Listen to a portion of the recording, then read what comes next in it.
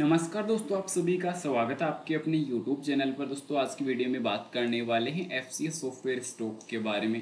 सो बस इस स्टॉक पे आज अचानक साढ़े दस परसेंट की अपर सर्किट के पीछे का रीजन क्या होने वाला है, वो भी चर्चा करने वाले हैं। और साथ ही साथ दोस्तों कंपनी के क्वार्टर टू तक क्या टारगेट्स रहने वाले हैं, इस चीज़ पर भी चर्चा करने वाले हैं।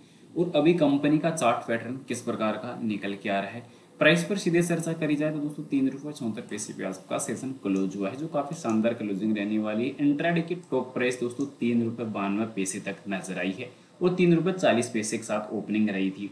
यानी कि ऑल ओवर अगर देखा जाए तो दोस्तों आज मार्केट में टोटल तेज़ी ही नज़र आई, क्योंकि लंबे वक्त से इस स्टॉक पे करेक्शन देखने को मिल रहा था। लास्ट पिछले पाँच मार्केट सेशन में भी अगर हम बात करें तो इस स्टॉक पे बड़ी गिरावट आ चुकी थी तीन रुपए तैंतीस पैसे तक। उसके बाद रिकवरी नज़र आई कुछ अंकों की, फिर धीरे धीरे लास्ट एक महीने की एवरेज गिरावट काफ़ी ज़्यादा हो चुकी थी। क्योंकि अगर इस तेज़ी को अगर साइडवेज अगर किया जाता है, और उसके बाद अगर डेटा रीड किया जाता है तो नौ प्रतिशत से अधिक की गिरावट हमें लास्ट एक महीने के अंदर नज़र आएगी। तो कहीं ना कहीं दोस्तों, आज की तेज़ी काफ़ी इंपोर्टेंट रहने वाली है। लास्ट अगर छह महीने की अगर बात की जाए तो लास्ट छह महीने के अंदर आज की तेज़ी अगर निकाल दी जाए तो उसके बाद भी दोस्तों, लगभग छः प्रतिशत से छः प्रतिशत से अधिक की जो तेज़ी सॉरी गिरावट जो है, वो नज़र आने वाली है। यानी कि ऑल ओवर जो डेटा है, वो काफ़ी अच्छा इंक्रीज हुआ है। पर अभी दोस्तों, तेज़ी के पीछे का कोई फैक्ट रीजन है नहीं। उसके पीछे का फैक्ट रीजन ये है कि दोस्तों मार्केट में जो कारोबार कंपनी का आरएसआई इंडिकेटर था, वो ओवर शोल्ड जोन के नीचे कारोबार करता हुआ नज़र आ रहा था।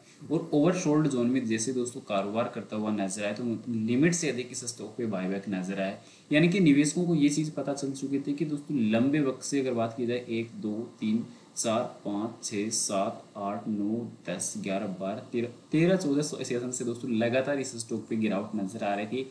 और इतने सेशन के बाद अगर लिमिट से अधिक अगर गिरावट हो जाती है तो ऑपरेटर्स को ये पता चल जाता है कि मार्केट पे इस स्टॉक पे लिमिट से अधिक सेल हो चुकी है और अभी जो है बाय करना काफ़ी पॉजिटिव बन सकता है।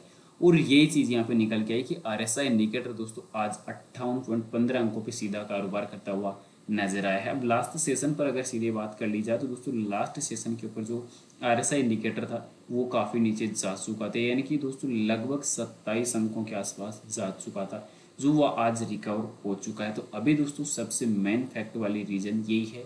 इस स्टॉक पे और कोई मेन रीजन कोई खास रीजन इस स्टॉक पे तेज़ी का कुछ है नहीं।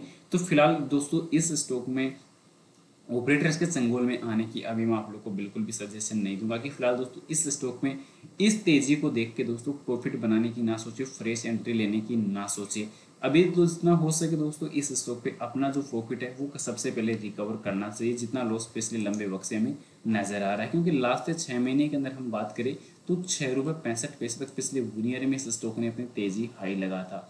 तो तेज़ी हाई लगा था, इस लेवल पर भी काफ़ी करोड़ों शेयर बाइंग पर लगे हुए हैं, जो छोटे निवेशकों का रहने वाला है ज़्यादातर। तो इसी के बदौलत ये चीज़ इंपॉर्टेंट है कि अभी हमें प्रॉफिट रिकवर करने की आवश्यकता है, क्योंकि कंपनी के इन्वेस्टरों पे अगर हम चर्चा करें दोस्तों कंपनी के इन्वेस्टरों में बढ़ोतरी फिर से नज़र आई है, जो पब्लिक होल्डिंग खासकर इस स्टॉक पे नज़र आई है, और इस चीज़ के अलावा दोस्तों पब्लिक होल्डिंग में कुछ अंकों की जो है, यहाँ पे फिर से एफआई की इन्वेस्टमेंट इंक्रीज हुई है। एफआई की और पब्लिक होल्डिंग ही इंक्रीज हुई है।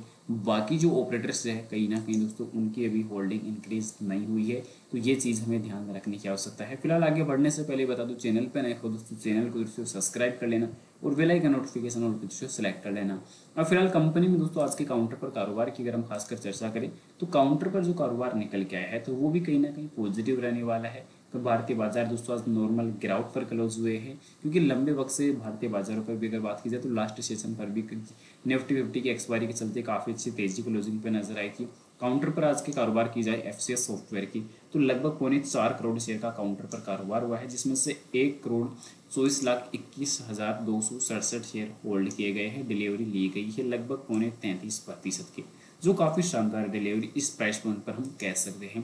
क्योंकि कंपनी में अभी भी दोस्तों जो एक्चुअल ऑपरेटर्स हैं सॉरी जो ऑपरेटर्स का जो डेटाबेस है, वो कहीं ना कहीं फिर से सेल होता हुआ नज़र आ रहा है। अब यहाँ पे अगर देखा जाए प्री ओपन मार्केट के लिए तो दोस्तों ओपनिंग के वक्त तेज़ी नज़र आई, यानी कि आज फुल इंट्राडे में तेज़ी रही है। अब दोस्तों फुल इंट्राडे में तेज़ी रही है, पर जो ऑपरेटर्स है, उन्होंने फिर से अपनी सेलिंग लगाना स्टार्ट कर दिया है यानी कि मंडे सेशन के लिए पहले ही अभी सेलिंग ऑलरेडी आ चुकी है, सेलिंग लग चुकी है प्री ओपन मार्केट का जो डेटा है, वो पहले ही अप्रूव लग चुका है। यानी कि ऑलओवर दोस्तों, छोटे इन्वेस्टरों की जो बाइंग है, वो कहीं ना कहीं लगभग पौने तीन लाख शेयरों की अभी प्री ओपन मार्केट पे लगी है। और ऑपरेटर्स के लिए दोस्तों, जो नौ लाख तेईस हज़ार छः सौ सत्तावन शेयर की दोस्तों शेयरिंग ऑर्डर लग चुकी है।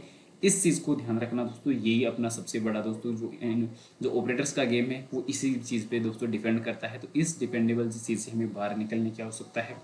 फ़िलहाल उम्मीद करूँगा जानकारी आप लोगों को पसंद आई होगी। पसंद आई वीडियो को लाइक कर देना, चैनल पर नए हो दोस्तों, चैनल को सब्सक्राइब कर देना और जानकारी को ज़्यादा से ज़्यादा शेयर ज़रूर से कर देना और आपकी नज़र में कोई पेन स्टॉक हो तो उसकी जानकारी कमेंट में पिन कर देना। एनालिसिस करके आपको जल्दी बता दिया जाएगा। मिलते हैं नेक्स्ट अमेजिंग वीडियो के साथ। तब तक के लिए ज़्यादा दीजिए। जय Shri Krishna. Thanks for watching this my video जय हिंद, जय बात वंदे मातरम।